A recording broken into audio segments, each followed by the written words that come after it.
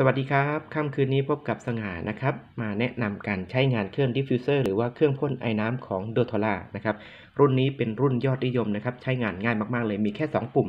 ปุ่มทางซ้ายนะครับ เอาไว้ตั้งเวลานะครับ กด 1 ครั้งเป็น 2 ชั่วโมง กดอีกครั้งเป็น 6 ชั่วโมง กดครั้งที่ 3 เป็น 12 ชั่วโมงนะครับ เมื่อท่านแตะหนึ่งครั้งก็จะมีไฟเขียวตามตำแหน่งที่ท่านตั้งชั่วโมงนะครับ ปุ่มทางขวาครับ ใครไม่ชอบแสงสว่างกลางคืน ปิดไฟปุ่มนี้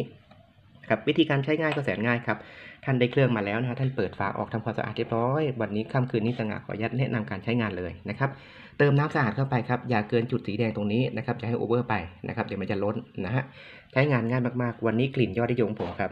กลิ่นที่เป็นที่รักและโปรดปรานเลยนะครับ มีลาเวนเดอร์ครับคืนละหนึ่งหยดนะฮะผมใช้มาไม่เยอะนะครับคืนละหนึ่งหยดนะฮะ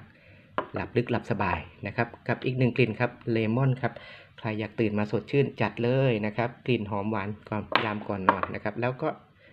ปิดฝาให้เรียบร้อยนะครับ ทั้งผลิตภัณฑ์และทั้งฝาเครื่อง diffuser นะครับ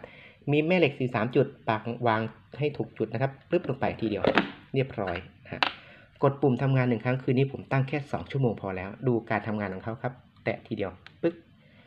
ไฟขึ้นไอขึ้นทันทีนี่คือความเร็วของการทำงานของเครื่อง diffuser ของ doTERRA นะครับแล้วบอกกันเลยว่าไอน้ำนุ่มละมุนมากๆนะครับ ตอนนี้กลิ่นหอมระเหยขึ้นมานะฮะถือว่าสดชื่นแล้วก็ผ่อนคลายมากๆกับค่ำคืนนี้นะครับ ใช้งานง่าย ๆนะครับกับ diffuser เครื่องนี้นะฮะ อยากทุกแนะนำให้ทุกท่านเป็นเจ้าของเลยนะครับ แล้วค่ำคืนนี้คิดว่าหลายๆ คนนะครับ คงจะหลับฝันดีเช่นเดียวกับผมกับเครื่อง diffuser doTERRA นะครับ วันนี้ขออนุญาตเพียงเท่านี้ก่อนราตรีสวัสดิ์นะครับ ทุกท่าน